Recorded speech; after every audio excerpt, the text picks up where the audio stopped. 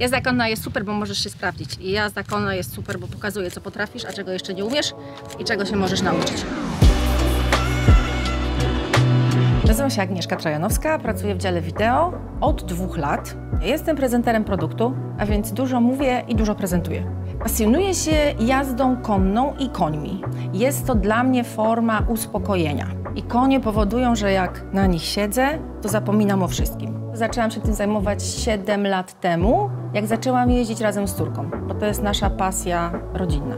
Paradoksalnie y, moją energię napędza strach i respekt przed koniem. Zawsze jest ta doza strachu, która powoduje, że ja chcę to zrobić, bo ja lubię sporty, które są w pewnym sensie niebezpieczne. Musisz do niego najpierw podejść, musisz być na tyle spokojny, żeby koń nie wyczuwał Twoich negatywnych emocji, bo nigdy nie będzie z Tobą współpracował. Wspaniale się jeździ po górach i cudownie z koniem się na przykład wchodzi w górskie potoki. To jest moje marzenie.